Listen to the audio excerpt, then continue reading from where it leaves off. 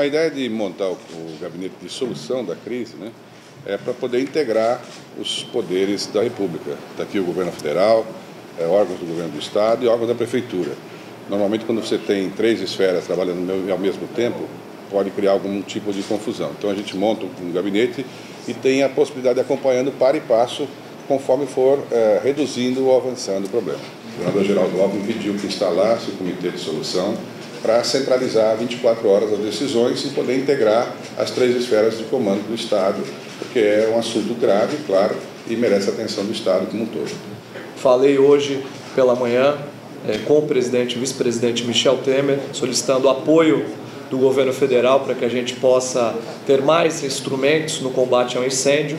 Isso foi viabilizado, nós conseguimos aí ampliação dos equipamentos, nós tínhamos um caminhão disponibilizado pela Petrobras, que é um caminhão específico para esse tipo de operação. Então estão chegando mais três caminhões e também uma plataforma e outros três já estão em operação, mais três equipamentos. Com isso, nós teremos aí é, uma maior infraestrutura para o combate ao incêndio. Todas as medidas de segurança estão sendo tomadas visando preservar a população, que é a nossa prioridade absoluta.